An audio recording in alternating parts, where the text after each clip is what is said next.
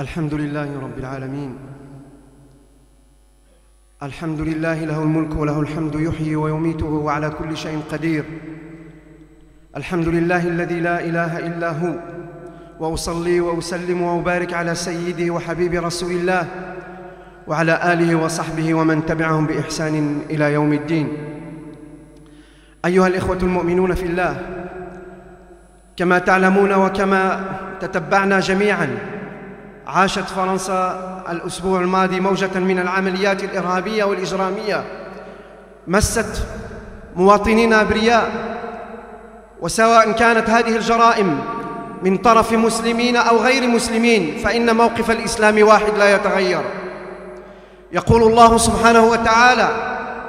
من أجل ذلك كتبنا على بني إسرائيل أنه من قتل نفسا بغير نفس أو فساد في الأرض فكأنما قتل الناس جميعاً ومن أحياها فكأنما أحيا الناس جميعا أيها الإخوة المسلمون الله سبحانه وتعالى جعل من قتل نفسا واحدة كأنما قتل الناس جميعا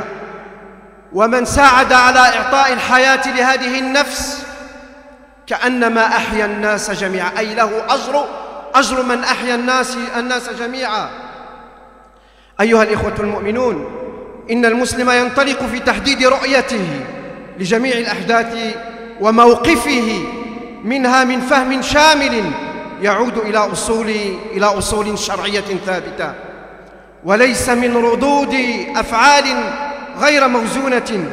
أو من أهواء لا أساس لها لأنه مسؤول عما يقول أمام الله سبحانه وتعالى وعما يفعل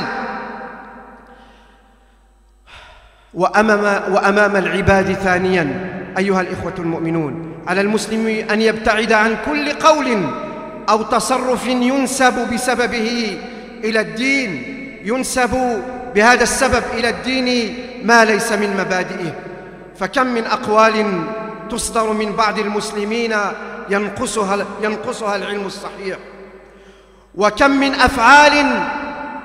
نفعلها بعيدة عن منهج الدين والفقه والعلم السليم تكون حجة على الإسلام والإسلام منها بريء وقد حذر القرآن الكريم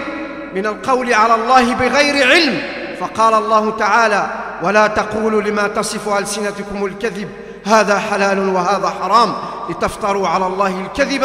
إن الذين يفترون على الله الكذب لا يفلحون سورة النحل Chers frères, chères sœurs,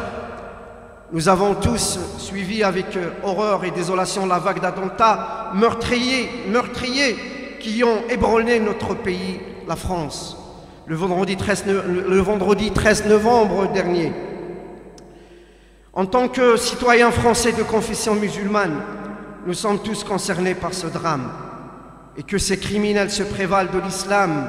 ou non, notre position en tant que musulmans est la même Allah dit dans le verset 32 surat al à la table, c'est pourquoi nous avons prescrit pour les enfants d'Israël que quiconque tuerait une personne non coupable d'un meurtre ou d'une corruption sur, sur la terre, c'est comme s'il avait tué les hommes ou l'humanité entière. Et quiconque lui fait don de la vie, c'est comme s'il faisait don de la vie à l'humanité entière. En effet, nos messagers sont venus à eux avec les preuves. Et puis voilà qu'en dépit de cela, beaucoup d'entre eux se mettent à commettre des excès sur la terre. Chers frères, chères sœurs, le musulman construit sa vision des événements non pas sur des réactions éphémères, non équilibrées, ou sur des avis qui n'ont aucune source dans le Coran ou la tradition de notre prophète, ou dans l'ignorance totale de la religion. Allah dit, Surat al nahl verset 116, Et ne dites pas conformément aux mensonges proférés par vos langues, ceci est licite, et cela est illicite pour forger le mensonge contre Allah. Certes, ceux qui forgent le mensonge contre Allah ne réussiront pas. وكمواطنين فرنسيين مسلمين شئنا أم أبينا يهمنا هذا الأمر بالدرجة الأولى ونحن ملزمون أن نجيب عن تساؤلات المجتمع نحن ملزمون أن نوضح موقف موقف ديننا لأن الذين ارتكبوا هذه الجرائم يدعون أنهم شهداء أنهم يبتغون الشهادة طبعاً جميع مسلمي فرنسا والعالم ينددون ولا يرون أنفسهم لا من قريب ولا من بعيد موافقين على هذه الجرائم وكثير منهم يتساءلون هل نحن ملزمون بإعطاء الدليل والدفاع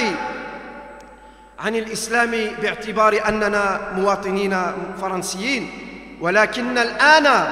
كمسلمين فرنسيين نواجه حملة من الادعاءات الكاذبة عن ديننا من طرف وسائل الإعلام من طرف بعض أشباه المثقفين ومن بعض الأحزاب السياسية الضعيفة التي تريد أن تتقوى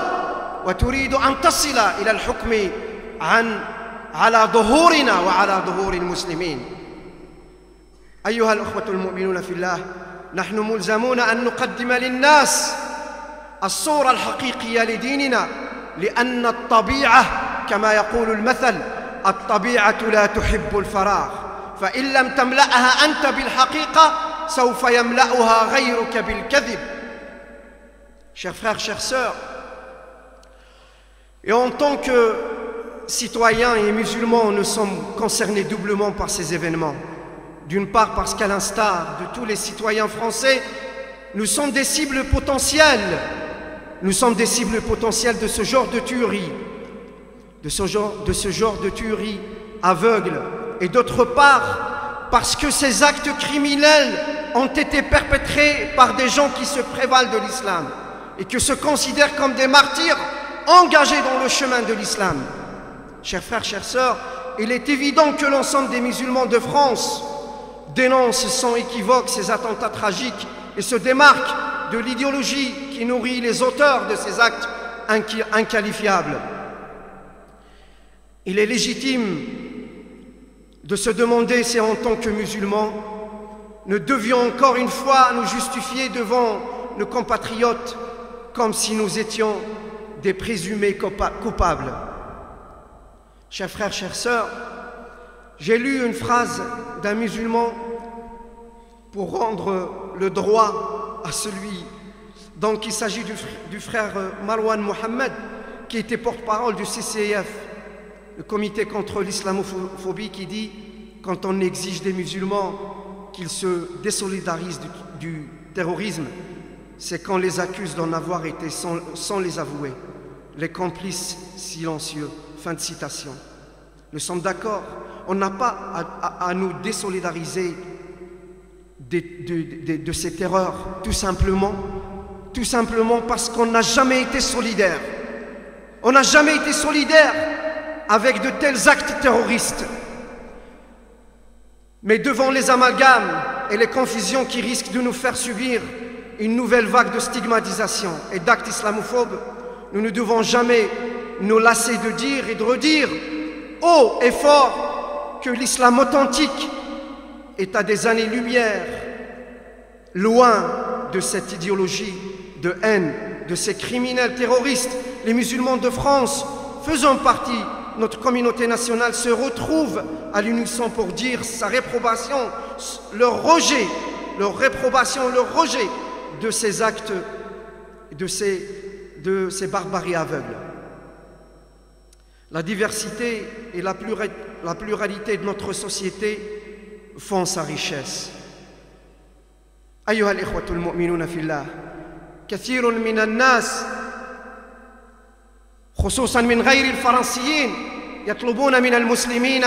في هذه البلاد أن يعلنوا نزع تضامنهم مع هؤلاء الذين يرتكبون هذه الجرائم ونحن نقول لهم متفقين ولكن لا نقول نزع التضامن لأننا لم نكن متضامنين في أي يوم من الأيام مع هذه الجرائم البشعة إنما نحن المسلمين ملزمون أيها الإخوة المؤمنون أن نعطي وأن نصدر بين قوسين الصورة الحقيقية للإسلام الذي تعلمناه للإسلام الذي تعلمناه من كتاب الله ومن سنة رسول الله للإسلام الذي تعلمناه من أخلاق صحابة رسول الله وليس من تصرفات هؤلاء الجهلة الذين ليس لهم علم ولا يعلمون لا تفسير ولا حديث ويتصرفون من تلقاء أهوائهم يكسب يكسب يريدون أن يكسبون من خلال ذلك أموالا آه، ويتلاعبون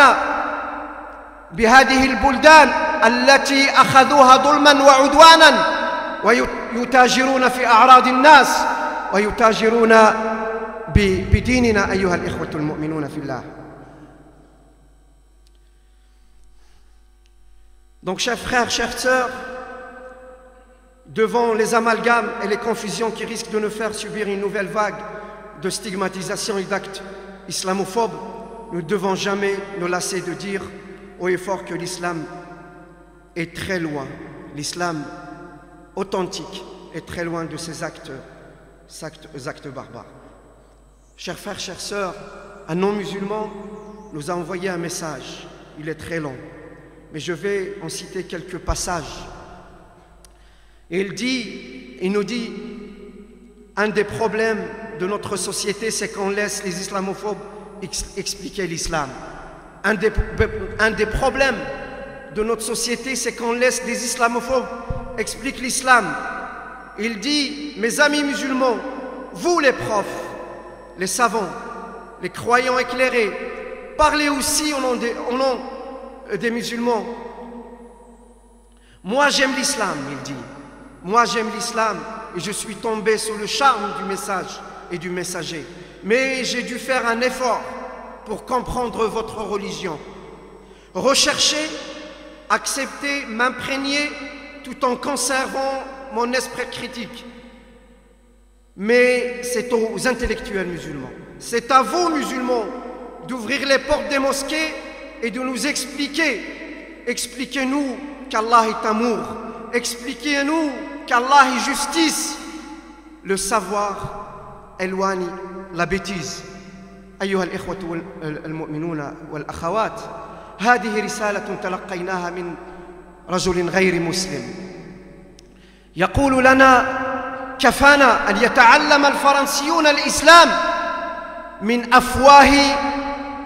الذين يبغضون ويكرهون الإسلام الذين سخرت لهم وسائل الإعلام هذه الأبواق يتكلمون عن الإسلام كيف يشاءون يعبرون عن كراهيتهم لديننا يقول نريد أن نسمع الإسلام من أفواهكم تكلموا لنا عن الإسلام حدثونا عن حب الناس للبشر حدثونا عن عدل, عدل عن حب الله للبشر حدثونا عن عدل الله تبارك وتعالى حدثونا بالعلم فالعلم Chers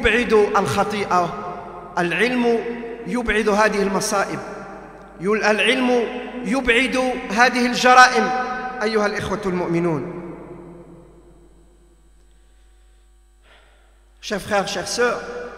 nous ne devons jamais nous lasser de réaffirmer notre rejet catégorique et sans ambiguïté de toute forme de violence ou de terrorisme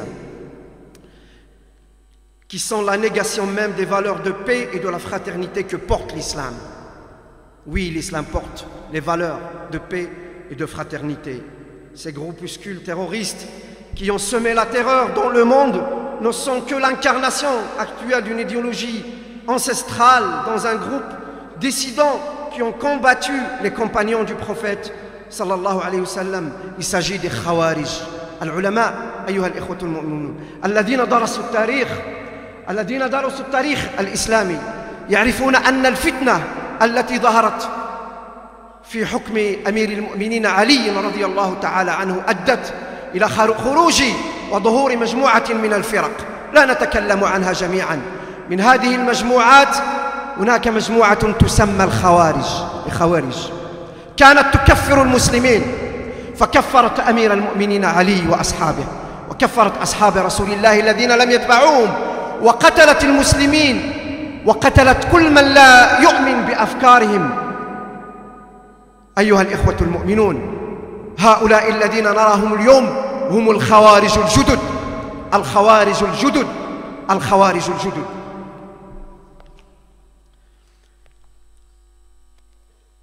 يقول الرسول عليه الصلاة والسلام يخرج في آخر الزمان قوم أحداث الإسنان سفهاء الأحلام يقرؤون القرآن لا يتجاوز لا يجاوز تراقيهم يقولون من قول خير البرية يمرقون من الدين كما يمرق السهم السهم من الرمية Le prophète sallallahu alayhi wa sallam n'a, manqué, n'a pas manqué dans une prophétie de décrire le profil, le profil pardon, de ces radicaux lorsqu'il dit sortira à la fin du temps des jeunes gens aux ambitions sottes. Ils lisent le Coran et ne dépassera pas leur gosier. Ils disent les meilleures des paroles. Ils sortiront de la religion comme la flèche sort de sa cible. Si ces organisations ont malheureusement réussi parfois à embrigader et à recruter des jeunes de différents horizons pour servir leur projet, leur projet chaotique, c'est parce qu'ils ont, entre autres, instrumentalisé des textes religieux après leur avoir attribué une interprétation dévoyée. والله subhanahu wa ta'ala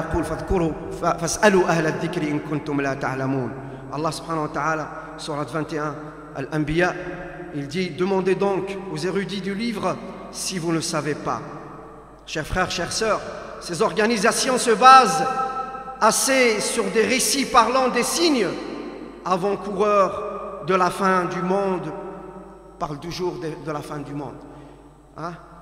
pour esquisser un scénario futuriste dans lequel elle s'attribue le rôle des, sauveurs de l'islam et de l'humanité.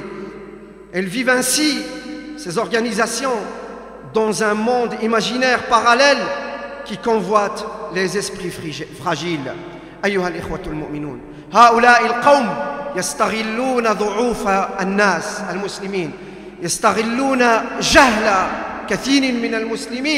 ليحاولوا ليحاولوا تمرير أفكارهم الخبيثة أيها الإخوة المؤمنون يجب أن نربي أبناءنا على كتاب الله وسنة رسول الله يجب أن نعلم أبناءنا أخلاق رسول الله أخلاق رسول الله فأخلاق رسول الله أيها الإخوة المؤمنون هي الحصن الحصن الحصين ضد هذه الأفكار الهدامة العلم لو سافوار العلم هو الحصن الحصين ضد هذه الافكار ايها الاخوه المؤمنون لقد تحدثنا في خطبه ماضيه عن عندما خلق الله سبحانه وتعالى ادم وامر الملائكه ان تسجد له فسجدوا الا ابليس عدو الله الشيطان لم يسجد فقال الله سبحانه وتعالى لما لم تسجد وقد امرتك كما جاء في الحديث المعنى في الآية عفوا المعنى تكبر إبليس تكبر أه؟ وقال أنا خير منه خلقتني من طين وخلق وخلقتني من نار وخلقته من طين أنا خير منه تكبر إبليس عدو الله ولكن الله سبحانه وتعالى لماذا جعل الأحسن والأفضل بالعلم فقال عندما سألت الملائكة الله سبحانه وتعالى كيف تخلق آدم ونحن نسبح لك ونحن نسجد لك قال إني أعلم ما لا تعلمون قال لك فعلم آدم الأسماء كلها العلم طيب هنا أمر الله سبحانه وتعالى الملائكة أن تسجد لآدم أن تسجد لآدم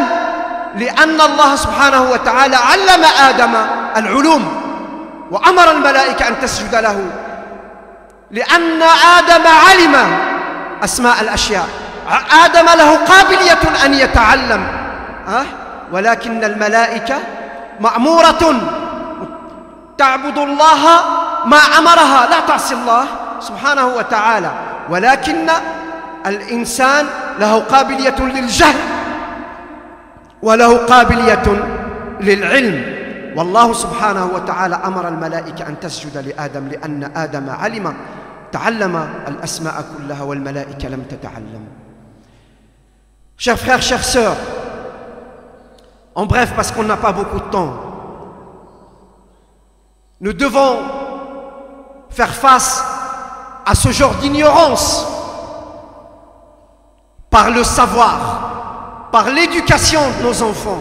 Parce que Allah subhanahu wa le, savoir est sacré dans notre religion. Allah subhanahu wa ta'ala nous a ordonné à aller chercher le savoir partout. Allah subhanahu wa ta'ala nous a ordonné à lire et à écrire et à chercher tous les savoirs et les sciences. Et Allah subhanahu wa ta'ala a ordonné aux anges de se prosterner devant Adam, tout simplement parce que Adam a su. Adam a compris Adam a appris, Adam avait le savoir. Et Allah subhanahu wa ta'ala l'a honoré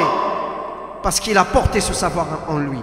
أيها الإخوة المؤمنون هذا العلم هو الذي يعلمنا الأخلاق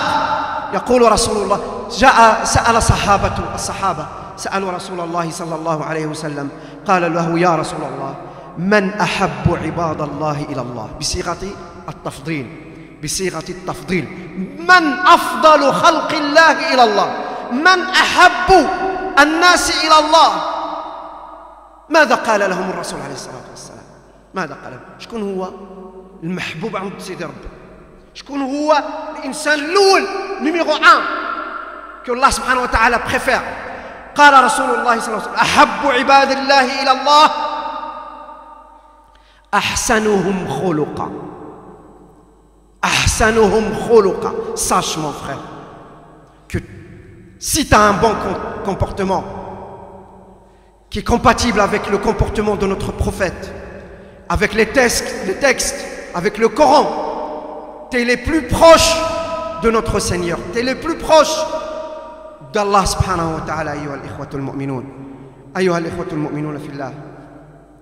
سأل subhanahu wa ta'ala, an yu'allimana min akhlaq rasulillah » وأقول قولي هذا وأستغفر الله لي ولكم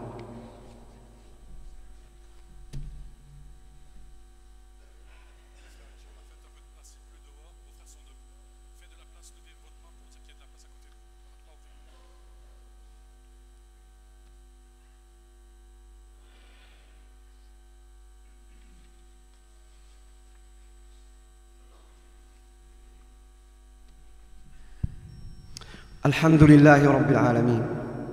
الحمد لله الذي لا إله إلا هو له الملك وله الحمد وهو على كل شيء قدير أيها الإخوة المؤمنون في الله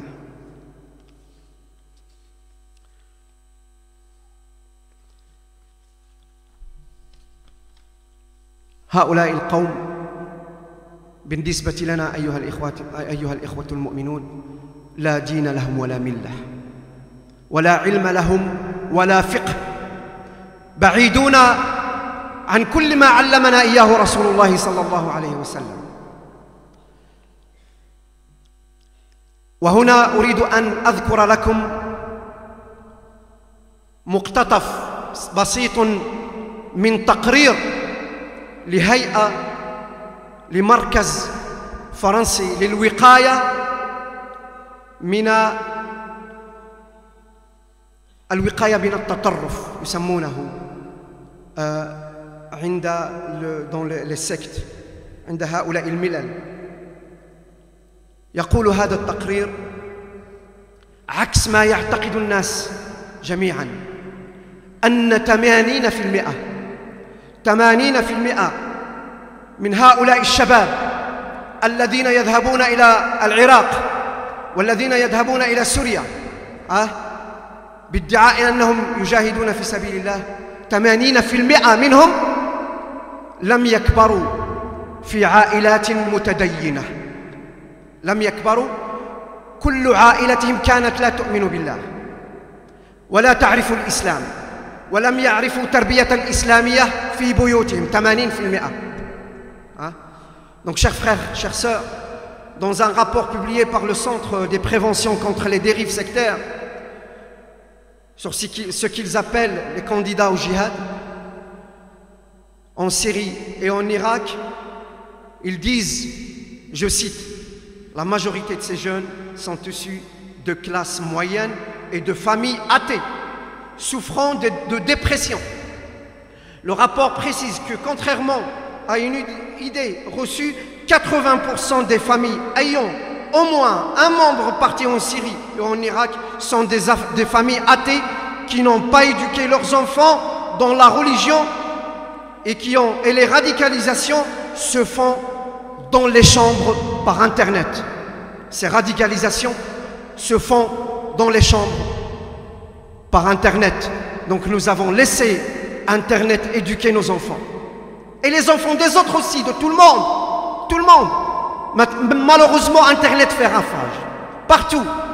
On a laissé l'éducation des enfants à Internet. Chers frères, chères sœurs, ces récits, pour certaines classes, classés comme euh, fiables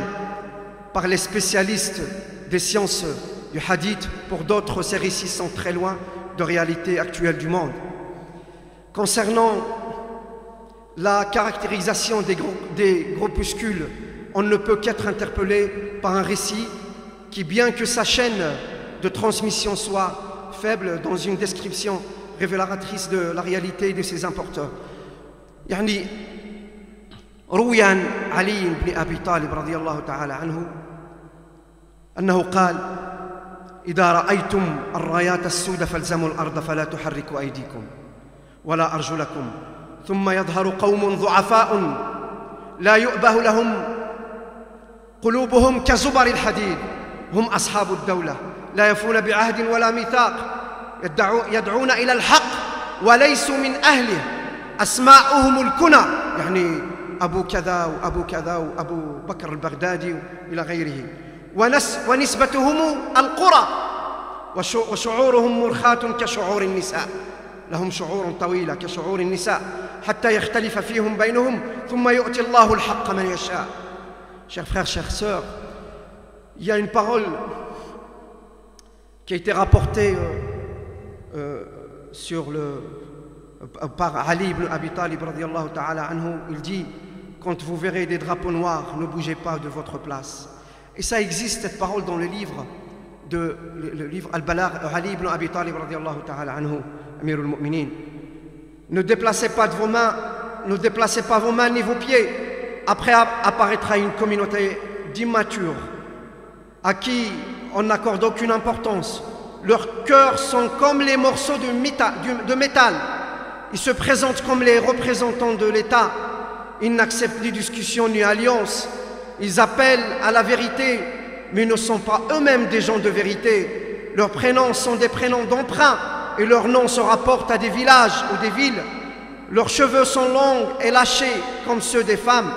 Ils sont proches les uns des autres, juste au moment où on mettra des conflits internes parmi eux, ensuite Allah donnera la vérité à qui il voudra. Ayyuhal ekhoutu muminun l'am illa an azkura baadu recommandations al nous ont lana ekhoutun fi le sefseem, le majlis. Al للديانة الإسلامية والتي طلبنا طلبوا منا أن تكون الخطبة موحدة نتكلم al Amr, الأمر أيها الإخوة المؤمنون un appel solennel nous musulmans de France réaffirmons notre rejet catégorique et sans ambiguïté de toute forme de violence ou de terrorisme qui sont la négation même des valeurs de paix et de fraternité que porte notre religion, l'islam. Nous, musulmans de France, sommes des citoyens français à part entière, faisons partie intégrante de la nation et solidaire de l'ensemble de la communauté nationale. Nous, musulmans de France, proclamons notre attachement indéfectible au parc républicain qui nous, unit, qui nous unit tous. Nous, musulmans de France, proclamons notre adhésion totale aux valeurs de la République. Les musulmans de France élèvent leurs prières vers Dieu, Allah subhanahu ta'ala, le très clément, et le très miséricordieux pour qu'il préserve, pour qu'il préserve et qu'il bénisse notre pays, la France. نعم كل مسلم يجب أن يدعو لهذه الأرض التي نعيش فيها لأنه جزء منها جزء منها يجب أن ندعو لهذه الأرض بالخير Les musulmans de France formulent tous leurs vœux de paix, de sécurité et de prospérité pour la patrie, la France et nous renouvelons, chers frères, chères sœurs, nos condoléances aux familles des victimes et notre solidarité avec toutes les victimes. Bien sûr, parmi les victimes, il y avait beaucoup de musulmans, chers frères, chères sœurs. Donc ce qui a touché c'est ce pays nous touche